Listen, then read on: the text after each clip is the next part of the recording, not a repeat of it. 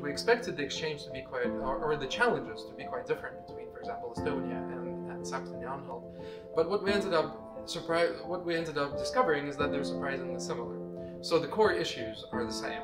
Of course, there are energy questions. So, for example, how do we secure the energy supply? How do we, uh, you know, not make too many compromises on the climate trade-offs and so on? Uh, on the other hand, what we've discovered is that the energy source itself is much less, uh, the one that is being phased out is much less important than the local context or, let's say, the human aspects of the of the transitions. In any case, we would definitely um, recommend anybody um, thinking about participating in Exchange EU to do so because uh, it gives you a sense of community, a sense that you're not alone. Your region is not alone. You're together. This is an all European thing, and all together we can make this.